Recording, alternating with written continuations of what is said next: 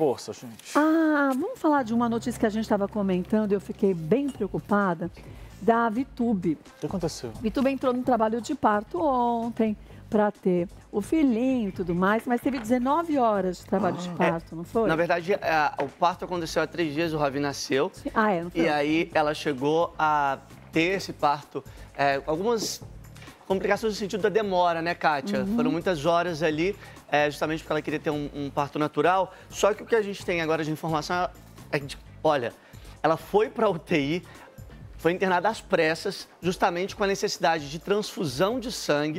Né? O pequeno Ravi, ah, nesse momento a gente até conseguiu a confirmação da informação de que ele está bem. E a Vitube? A Vitube, é o seguinte, ela também, a gente pode tranquilizar no sentido de falar que ela está bem. Mas há uma preocupação agora, justamente porque, assim, foi uma internação na UTI e, obviamente, a gente sabe que a fragilidade pós-parto, né, tá chamando a atenção da equipe médica. O bebê está sendo cuidado pelo pai, pelo Eliezer. Ah, de acordo com as informações, inclusive divulgadas para o portal Léo Dias, a assessoria disse que ela já eh, recebeu essa transfusão de sangue por conta dessa intercorrência pós-parto. Agora, a Viviane, eh, que a mãe dela está com ela no hospital, tá? E aí, agora a gente está só aguardando para saber quais são as informações em relação ao estado de saúde dela agora à tarde. Eles devem soltar uma nova nota, tá? O que a gente pode garantir é que foi o seguinte: eh, na nota diz o seguinte, na primeira informação que foi dada. A pediatra estava avaliando a ida dela para a UTI, que aí eh, não teve como. Enfim, teve uma estabilidade rápida. eh, eles tentaram ali, de alguma forma, não ter eh, qualquer procedimento mais grave, eh, de alguma forma que fosse mais emergencial. Controlar a situação, Controlar né? essa situação. A Lua, que é a pequena também, ao que a gente sabe está com o Eliezer. Só que, gente, é, a- acabei de receber aqui essa informação que ela já conheceu o irmãozinho e tal, mas que a preocupação é também com o susto desse clima todo, porque são dois bebês, são duas crianças Não, são dois bebês. Agora, sabe o que me preocupa? É, eu vi uma, uma entrevista que fizeram com a Vitube. Ela dizendo que ela tinha pe- pensado até em fazer um pato humanizado. Foi. Em casa e tudo mais, né? Ela queria. É, e que o sonho dela era ter um parto normal. Tudo bem, gente. Isso eu acho válido. Eu tive os meus filhos parto normal.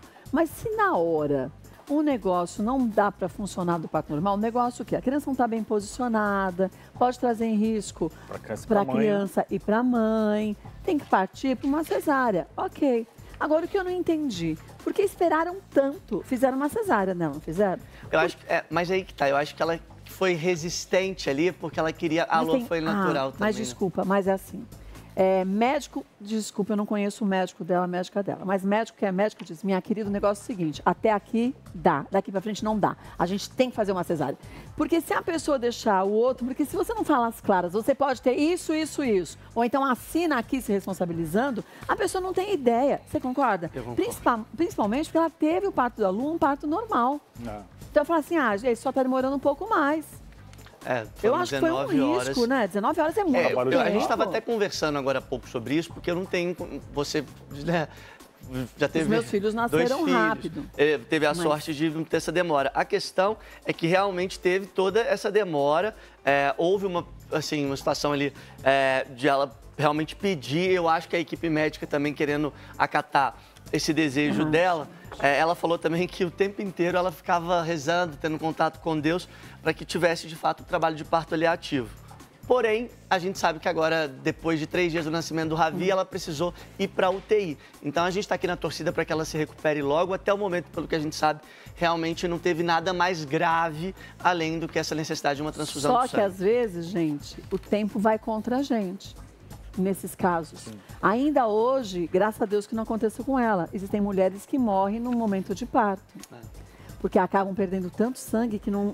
E aí eu não sou médico para falar de alfa... certinho o que acontece, mas a mulher, mesmo fazendo transfusão, não consegue segurar esse sangue. Então, gente, a gente tem que ter um pouco de critério, e principalmente os médicos, né?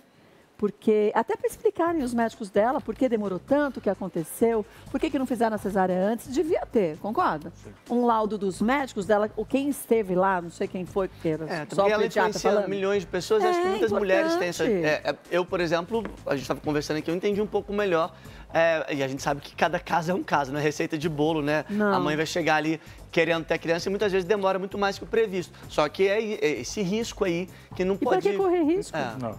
Ou a mãe ou a criança, mas enfim. Que ela se recupere logo. Beijo pra família Amém. toda, viu? Ai, meu Deus.